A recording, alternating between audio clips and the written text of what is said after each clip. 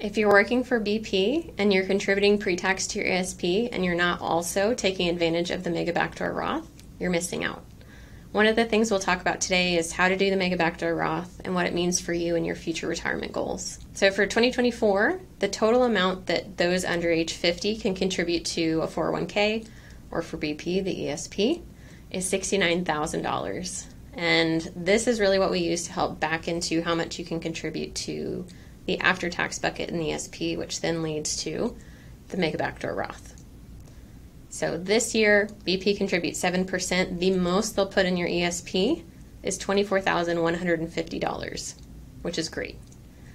You, as somebody who's under the age of 50, can contribute $23,000 to pre tax. You get that nice tax deduction. It's great. That's priority number one. After tax comes as priority number two.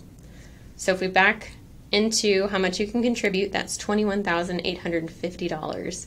So, potentially a lot of savings that you're missing out on doing. And this will be a great add on to what you're already doing in your ESP. This kind of just shows you how everything stacks on each other. One of the things you'll want to make sure of is at the beginning of the year, you adjust your contribution percentages. After bonuses, shares payout, make sure to revisit that and change any of the contribution percentages so that you're contributing throughout the entire year so you get the full BP match and to make sure you don't max out too quickly. Otherwise, again, we miss out on the match. So, the way it works let's say you've gotten through the whole year, you've done the full after tax contribution. What do we do now? We'll call Fidelity. We'll ask them to roll out the after tax to your outside Roth IRA. This is not to the Roth 401k, it's to your Roth and the reason that we do that is because if you leave it in the ESP, any of the growth is eventually taxable.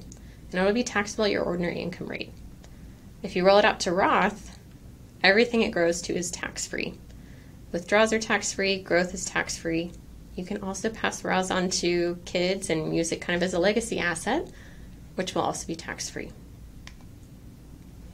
So, a lot of people ask me, okay, what is the difference between the Roth and a taxable account? We've kind of gone through a little bit of this, but really want to bring it home.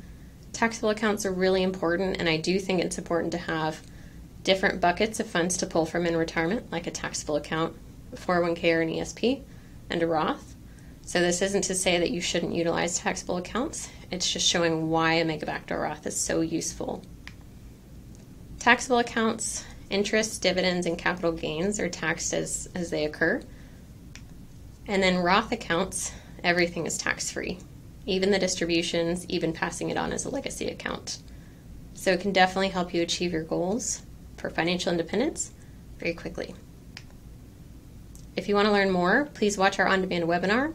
You can also follow us on LinkedIn or even reach out and schedule a complimentary meeting. We'd love to meet with you.